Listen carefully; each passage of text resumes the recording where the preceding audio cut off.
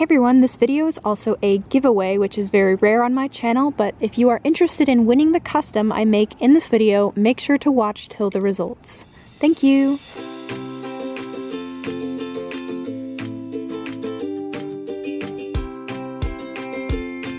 I have done it. I have found the weirdest, littlest pet shop that exists on this earth. Please welcome to the stage, Mr. Eyeballs. oh no! Oh.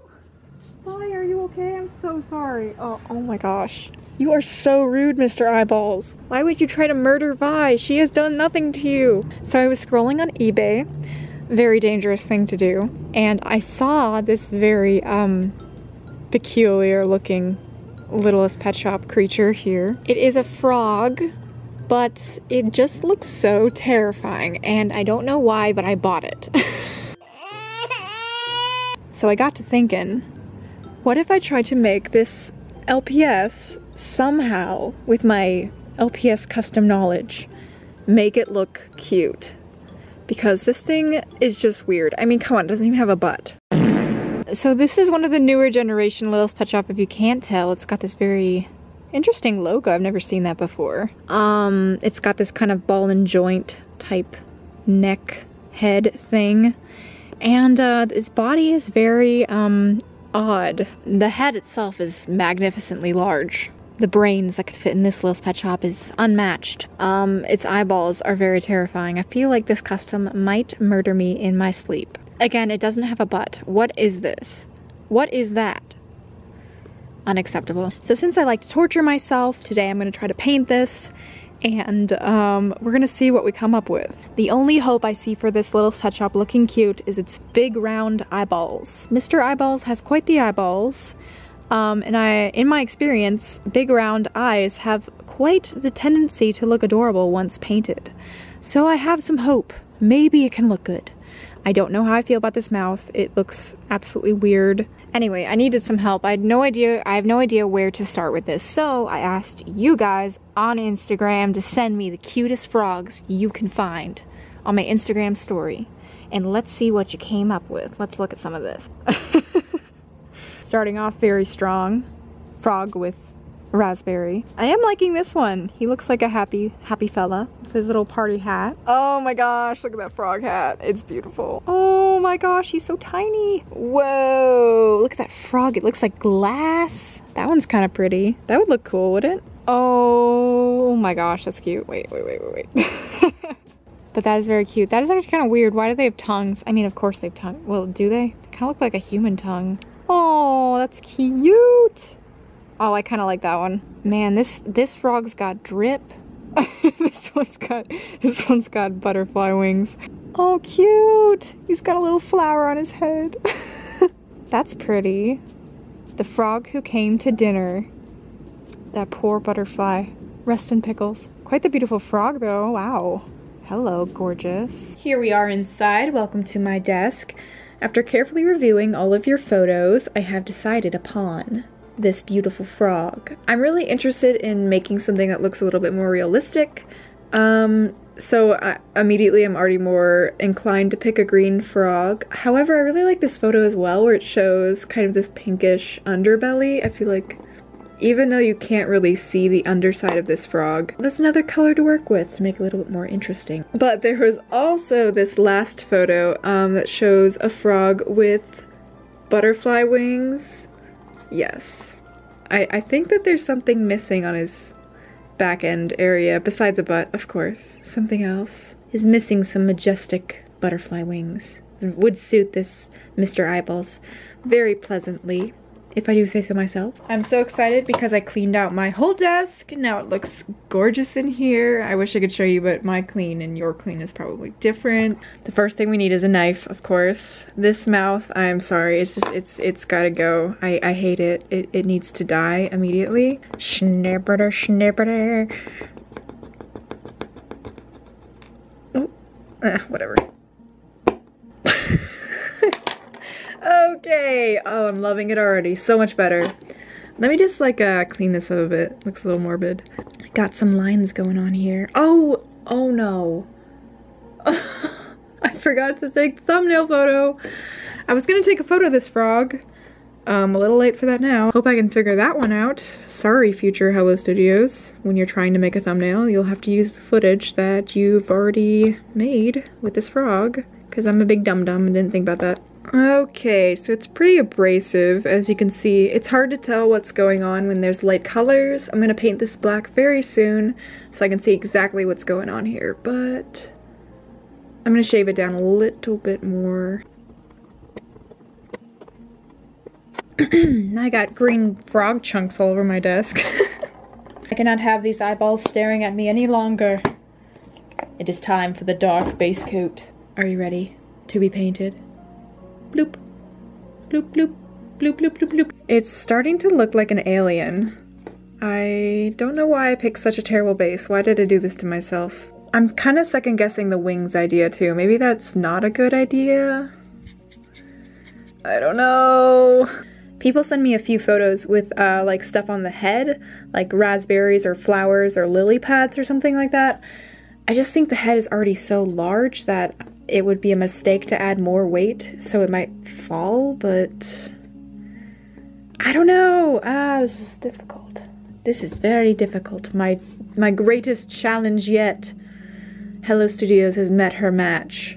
Now I have to sculpt a mouth. Why did I do this to myself? Was it worth it? We're gonna find out. Get my handy dandy pointy tool. I swear by this thing, it's beautiful. He's a bit fried up though from past experiments.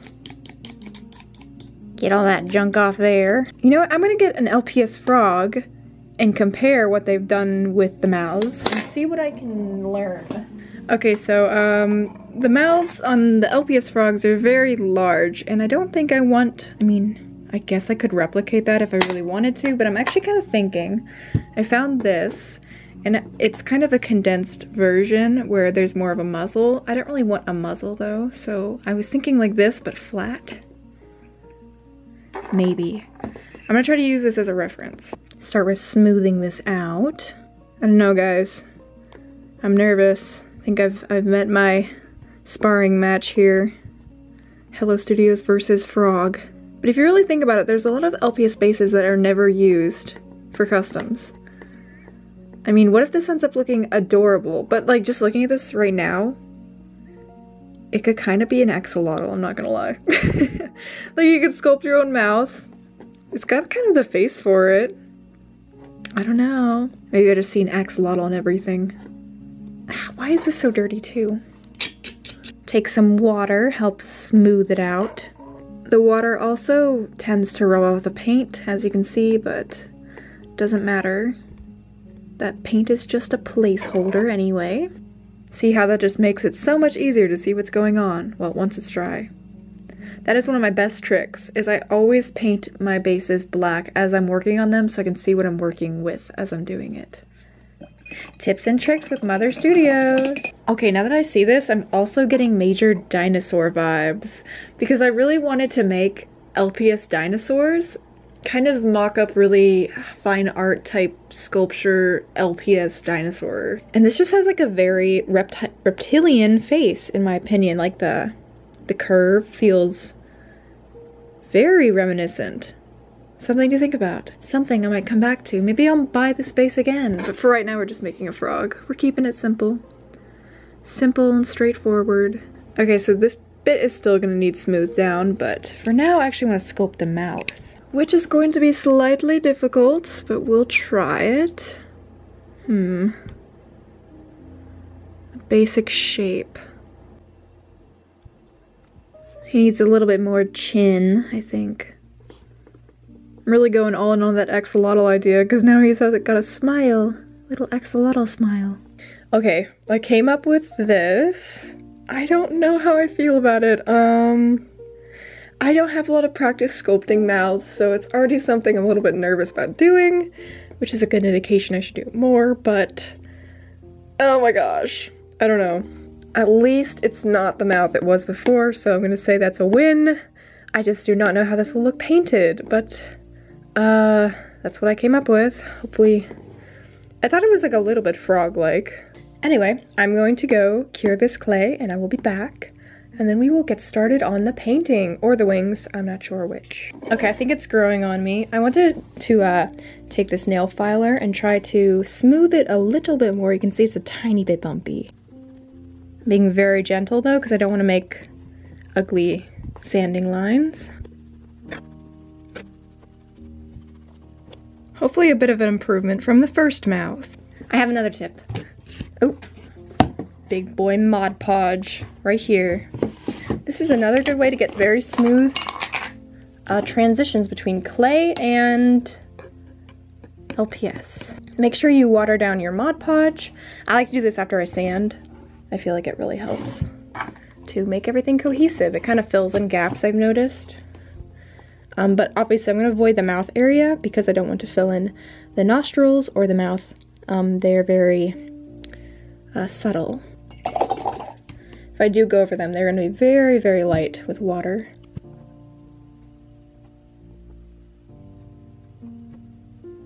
Okay, while we let that dry, I have an idea about the wings. So I'm using some wire, but also I had this idea. So I have these um, butterfly stickers, and I had two pairs of them, so I just cut them in half, and I think I'm gonna stick them together with the wire in between, and it'll make like a cool butterfly wing effect. I've never done this before, it's just an idea. These were very cheap stickers off Amazon, but let's see if I can get this.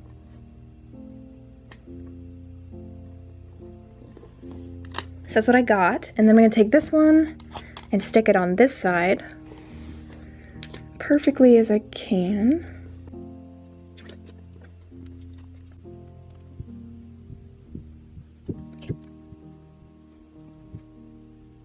I'm basically just following along the lines as well as I can, using expert scissoring skills. Boom. Okay, I'll do the other ones off camera for a sec. Okay, so here's my idea in full motion. Ta-da! Wait, let me see. I wonder if they're gonna be too big for the little frog. Too big?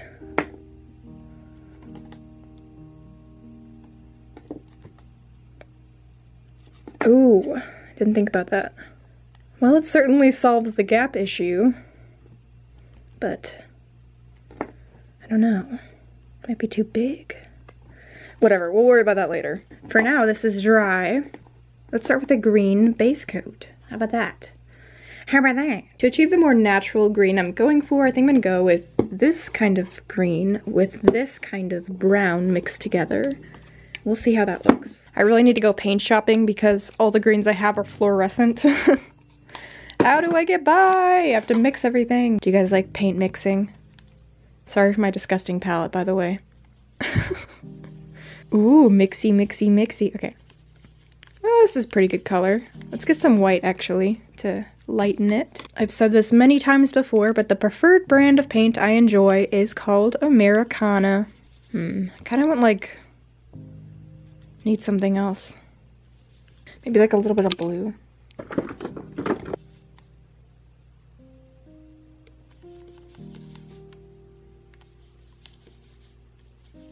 me likey. Now I'm just going to dry brush this color on that helps keep it uh, smooth base coat. So this first pass is going to look really bad. Translation.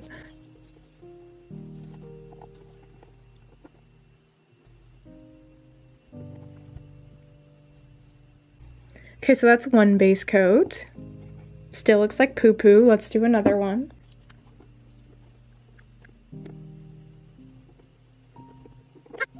There's like nothing to hold on to while you're painting this. So I decided to detach the head from the body. I was just having some problems with the uh, tops of the legs hitting the custom here and creating dents. So we're gonna paint them separately. Here's what he looks like. I still don't, I don't know what the shape of this head is just wigging me out. It's like a peanut, that's what it looks like.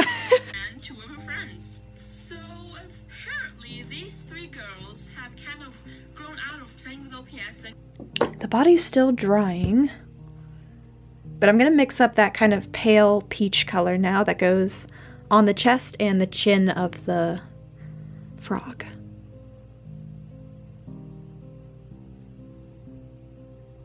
Just trying to create a transitional shade so it's not so abrupt.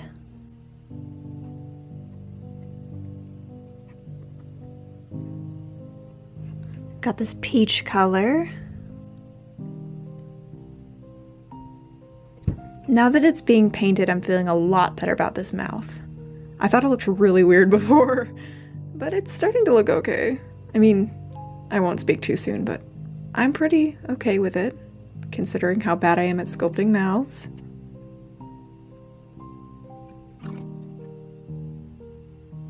I'm trying to blend this out really well. Right now it kind of looks fuzzy, which isn't um, a texture you want on a reptile.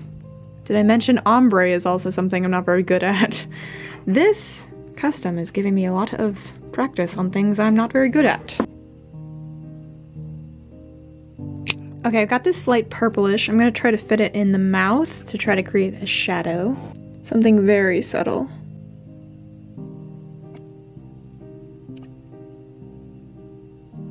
And probably the nostrils as well. I'm gonna use a really small brush for that bit.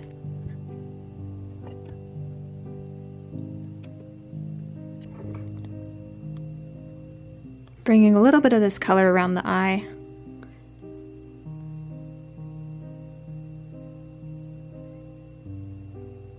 Okay, so this is what it's looking like, and I'm getting ready to attach the wings.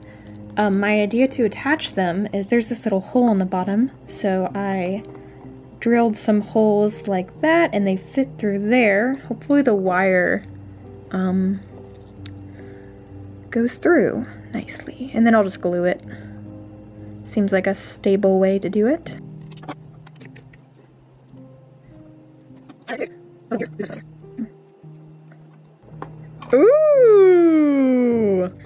So I'm having actually a little bit of trouble here. You can see this sticker is kind of opening a bit. This side is good. This side, I think I didn't stick it properly and now some like debris got in there so it's not really sticking. So I think I'm gonna put some uh, glue in between there and also glue to hold the, the metal pieces in place, the wire. Um, and I think if I bend it in this way, kind of flatter, the head still fits and it still looks cool. I mean, what do you guys think of this experiment? Was it good? What do you think? I can always try this on a different custom later on. Um, I just wanted to test out this idea. You go ahead and glue that.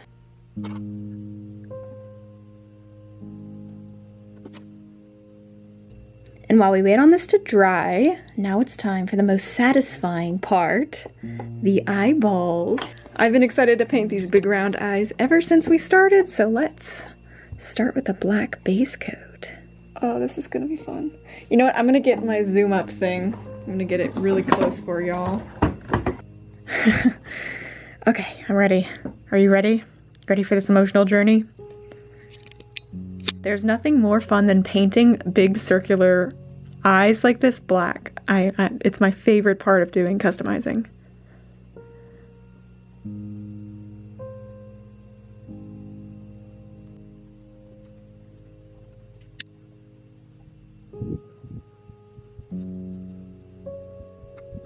This is the part where I can't talk because I'm too focused.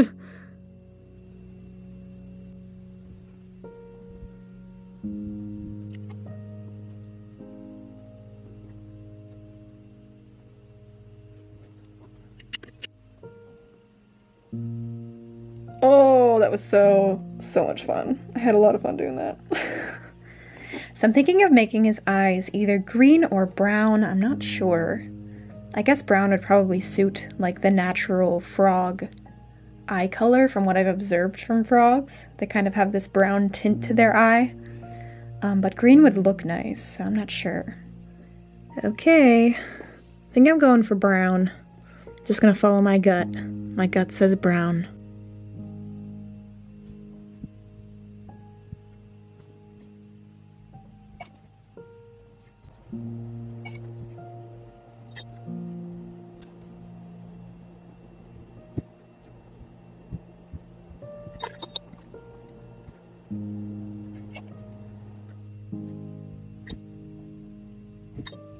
Think I'm gonna start I'm, I'm gonna add some purple for like a shading technique for the eyes. That's kind of something I like to do every once in a while. Make them pop a little bit. I don't know how well it will show up on the dark, but we'll see.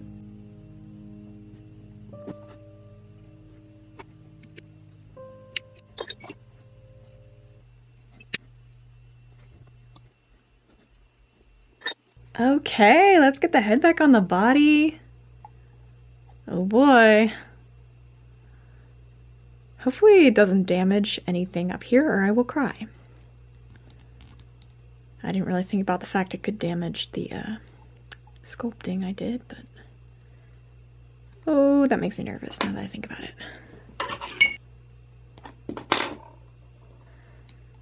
YOLO. Oh, I don't know. I don't know. This is making me nervous. Why didn't I think about this? Just do it. Oh no! Did you see that? No. Oh, this was such a mistake. Ah! Hair dryer, please solve this problem.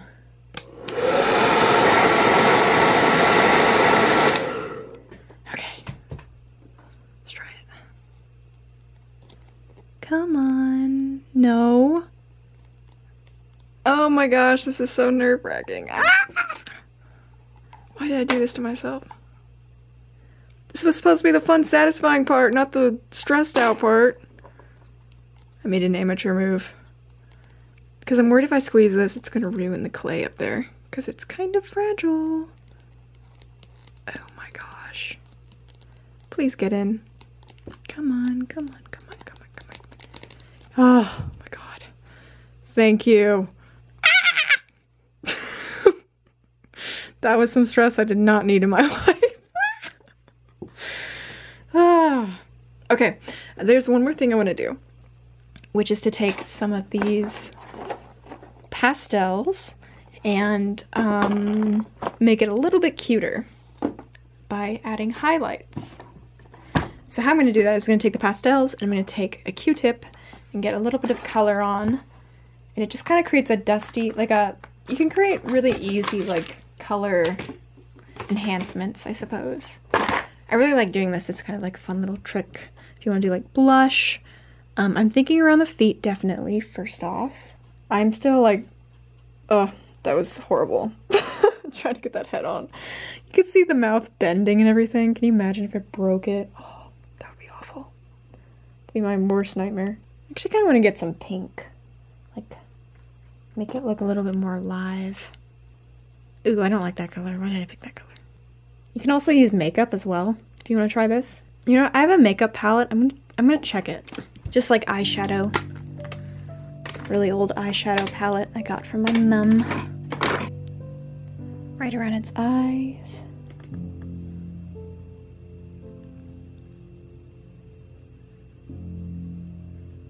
A little bit on his nose.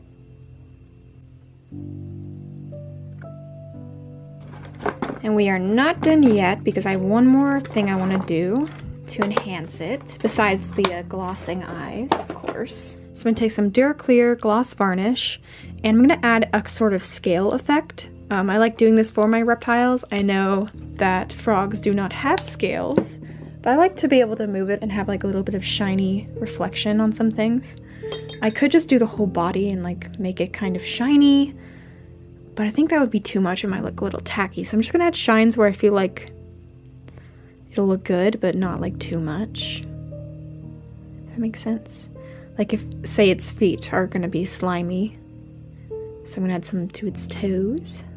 And I'm thinking kind of like this area on its chest. A little bit right on its legs. Then right above its nose, like little splotches of shine. I'm also going to add this as a pre-gloss um, to its eyes before I go back in with some resin. All that's really left is glossing the eyes. Also the most satisfying part.